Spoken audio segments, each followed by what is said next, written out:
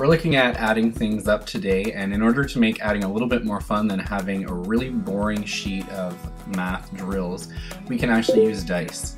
You can see here how I'm rolling the dice, and I got a 2, so I wrote that down, and now I've rolled a 3. You don't actually need two dice for this, you really only need one. If you only have access to one, that's totally fine, just roll it twice.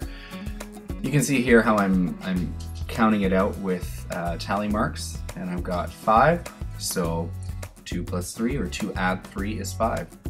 This is a really great way for students to practice their adding. You can do it with subtraction as well if you remember to take away the smaller number from the larger number. If rolling single digits up to sixes and then adding that up is not challenging enough, you can do what I'm doing right here, which is rolling two dice and creating a two digit number out of that. And you can do that with three, you can do that with four, you can do that with however many you need to, to in order to make it challenging.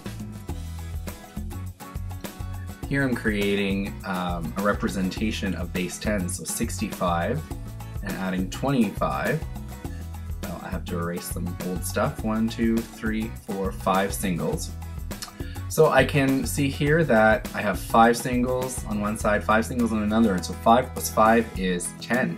So if we get rid of those singles, we can put another 10 rod in and we can easily count that across 10, 20, 30, 40, 50, 60, 70, 80, 90. So 65 plus 25 is equal to 90. If adding it up, if subtracting it is not challenging enough, then you can also start multiplying and dividing. By rolling the dice, it makes for a little bit more of an interesting experience with the numbers because you don't know what's coming and you don't spend half your time trying to figure out the numbers that you want to add up. It's a quick way to practice, and so if you do this for five to 10 minutes a night, that will really help to make your understanding of how numbers work and how they work together strong for class time and for thinking everywhere else in your life. Make sure you write down everything and record it so that you can keep track of how you're doing and how many you're doing. And I'm sure that the, the more that you do it, the faster you'll get, the more you'll get done. So keep adding it up.